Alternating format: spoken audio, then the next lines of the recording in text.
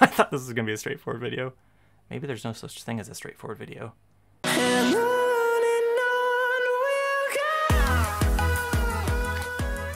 Hi there, Jeremy here from veganinteractions.com, and in the next few minutes, I'm going to talk to you about a fundamental issue that I think the animal movement is missing.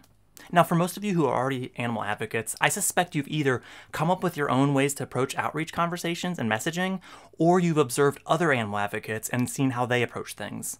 Now, across the board, from grassroots activists to academics, I've noticed a surprising lack of focus on the, to me, what is the fundamental wrong, which is the breeding. Now, when I say the fundamental wrong, I don't necessarily mean that in that very instant is the most morally reprehensible thing that we do to our fellow animals. But what I do mean is, in a very practical sense, everything we do to them after that point is because they were bred in the first place. This, to me, is the paradox of the idea of animal rights.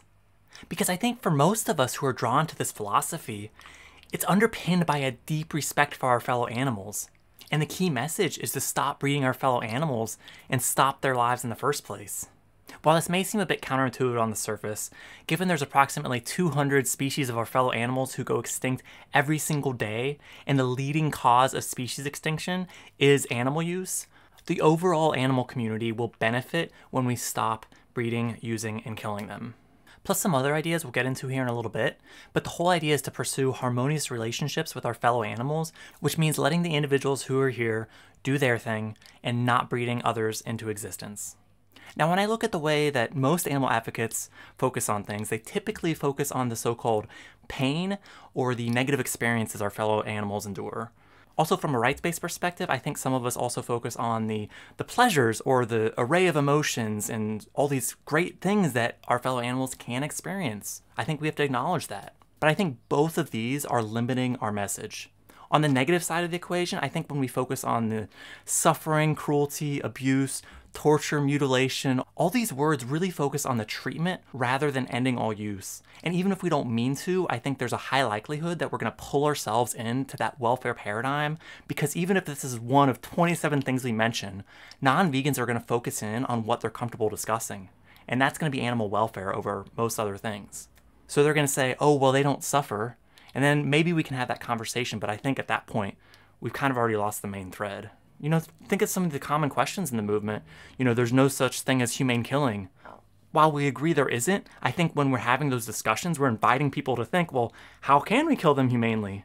And I don't think that's where we want to go. I think even from a rights-based perspective, when we're making a case for why our fellow animals do in fact have a valid claim to basic moral rights, it's tempting to talk about the joy and all these positive experiences they can have. I don't think we want to do that either, because this makes a case for breeding them. Now, the breeding applies for the vast majority of animal use. However, obviously, for our fellow animals are already here who have been bred, ideally we could take them to a sanctuary, although let's be honest, most of them are already full. And then from a free living being perspective, we could talk about, you know, so-called wild animal suffering and what we can do to advocate for free living beings. Now, while I think this should be a part of the discussion, to me this is part of the overall scope and it shouldn't be our focus or the predominant use of our time. Because largely, it's not that practicable to end wild animal suffering or even reduce it.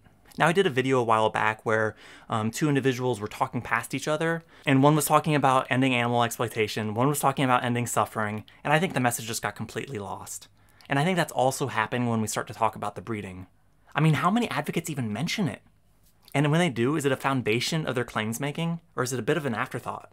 Alright, now I said I was going to keep this video on the shorter side, so let's talk about the practical applications for our animal advocacy.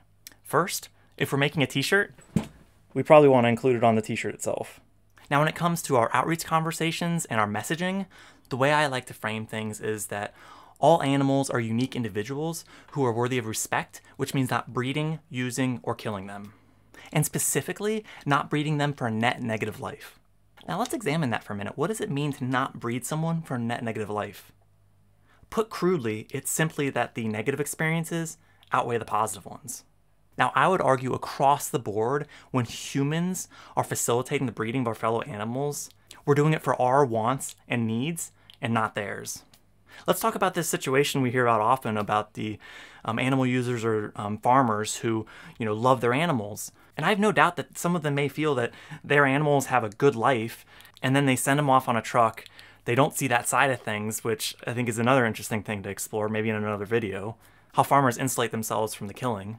But even in that instance, if we took away the profit motive, would farmers still be breeding these animals into existence?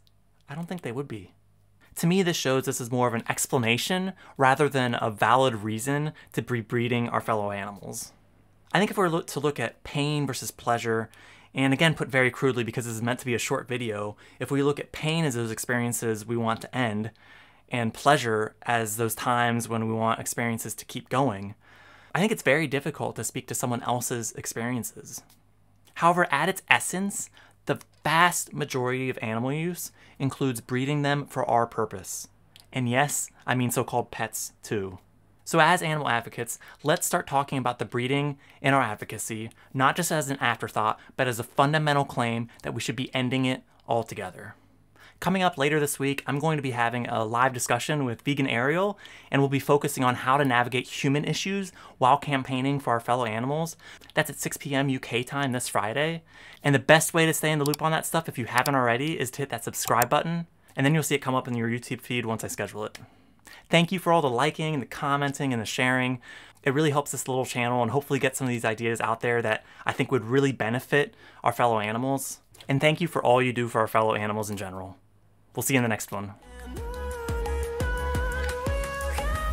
For free resources, such as a discussion guide and language document, check out veganinteractions.com. Thanks for watching.